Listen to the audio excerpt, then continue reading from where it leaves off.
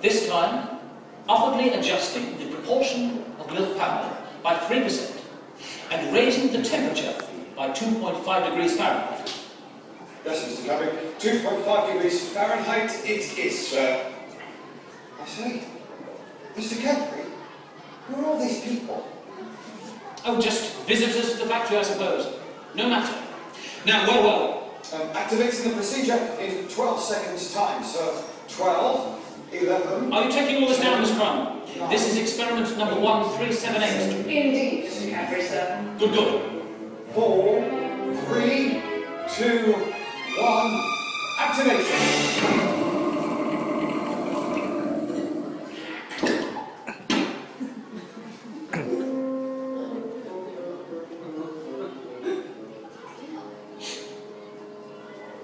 No. No, no, no, no, no, this will not do at all.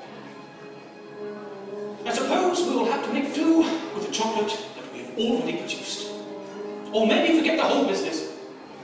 I mean, if we can't produce a superior chocolate, then perhaps we ought to go back to selling tea.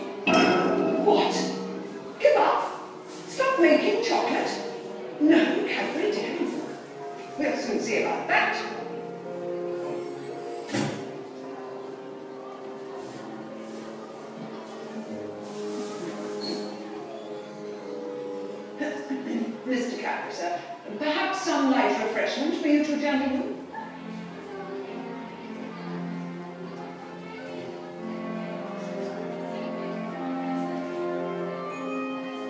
By Jove, Cooper! The answer has been staring us in the face all along.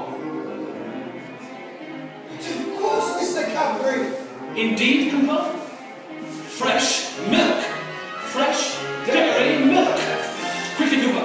Enable the manual feeder for liquids and set the calibration to one and a half glasses. One and a half glasses it is, sir. Temperature constant. Temperature is constant, sir. Prepare for activation. Ready for activation, sir.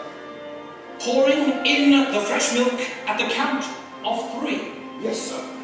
One, two,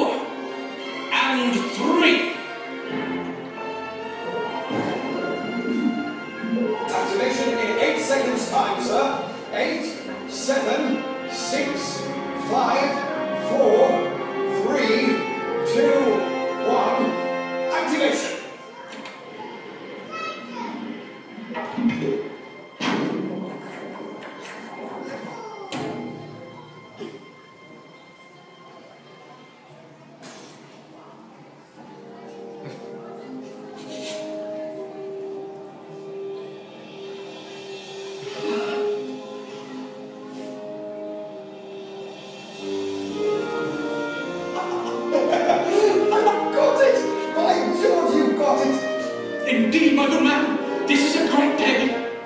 This is a momentous day for us all. For here, today, we have created this magnificent chocolate, this king of confectionery, this fresh dairy milk chocolate. With a glass and a half of fresh dairy milk. And from this new superior chocolate, I foresee a myriad of exciting and excellent, delicious delights will satisfy even the most discerning palate.